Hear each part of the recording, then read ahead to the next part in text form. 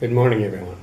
This morning, I would like to personally thank all the residents of Manitouwadge for doing their part to reduce the spread of COVID-19. A special thank you goes out to the staff working in the healthcare and retail sector who continue to provide us with our essential goods and services. I can't say enough about the excellent work you're all doing. I am pleased to say that as of this morning, there are no confirmed cases of the coronavirus in Manitouwadge. I'm very proud of this fact and would like to see this continue. Now, with the amount of snow and cold temperature we're having in the last few weeks, Mother Nature is doing her part to ensure that we're staying home. But as the days grow longer and the weather gets warmer, it might be more difficult to stay indoors. My message to you today is please continue to practice social distancing when you're out.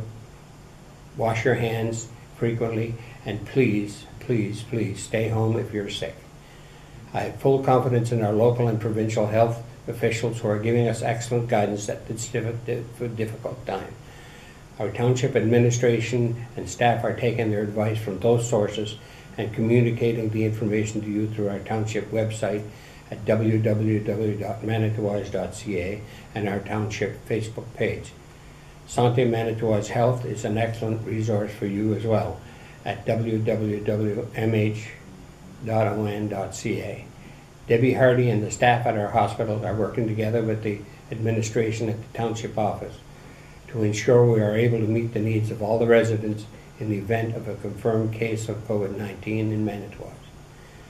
Upon direction of the province of Ontario, we look forward to being able to open our municipal facilities to the community and once again getting together to celebrate the wonderful people of Manitouwadge.